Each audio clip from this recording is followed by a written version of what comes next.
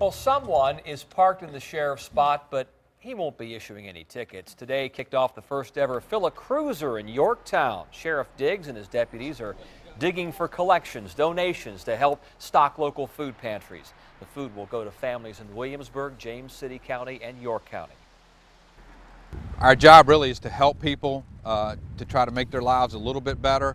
There's a lot of people out here who are in need, and anything that we can do to make people's lives better, uh, we just enjoy doing. So deputies will be back out tomorrow between 7 and 7 to collect food. The office is on Goodwin Neck Road in Yorktown.